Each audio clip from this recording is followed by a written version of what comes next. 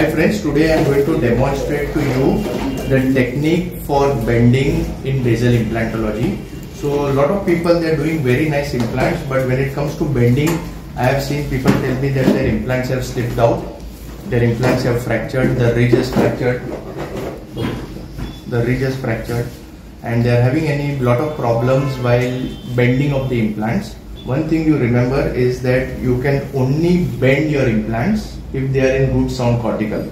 So one of the ways of checking whether you are in cortical is by bending which means that if your implant slips while bending that means you have not engaged the opposing cortical properly.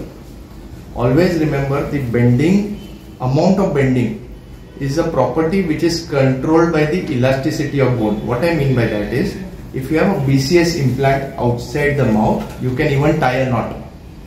Okay, that is the amount of bending you can do tremendous isoelasticity. But the same BCS implant in the mouth the bending will be controlled by the elasticity of the ridge which means that if I try to bend beyond the point it is possible and highly likely if the implant is in good torque the bone will not support it and the bone may fracture. Okay? So the bending is controlled by the bone. Another thing you need to remember is the longer the implant. So let's say for example I have a 3.523 and I have a 3.510. Obviously, the longer the implant, it is more isoelastic.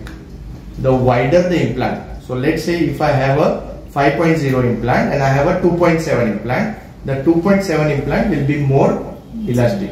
So thinner the implant, it is more isoelastic. Longer the implant, it is more elastic. QS implants, you can bend only up to 10 to 15 degrees.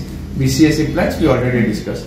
And right now I will show you the technique of bending the implants which is called as the soda bottle technique. So as if you are opening a soda bottle. So when you place the implant, you place the driver on the implant, you move your hand as if you are opening a soda bottle and do oblique direction. What I mean by oblique direction is, let's say that you have placed the implant buccal to lingual like this. Never you will bend in the same direction.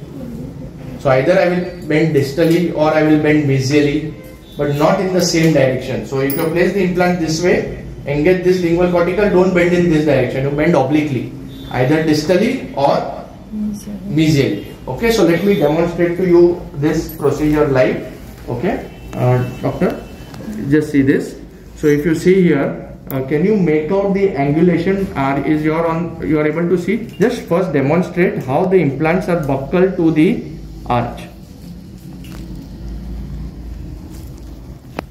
okay buccal to the arch and now I will show you how to bend these implants. So first I make sure that they are in good cortical okay and now instead of bending this way which is in this direction I will be bending it distally. Open please, as if I'm opening a soda bottle. See my fingers, just take the hand uh, camera back. Just see this, as if I'm opening a soda bottle. Just take more back. Okay, see my hand open. And now can you just Dr. Pooja just show them again? Can you make out the difference now between this implant? Earlier this was also in this position and now the corrected angulation. So I hope this small and quick video on intraoral bending was helpful. Thank you very much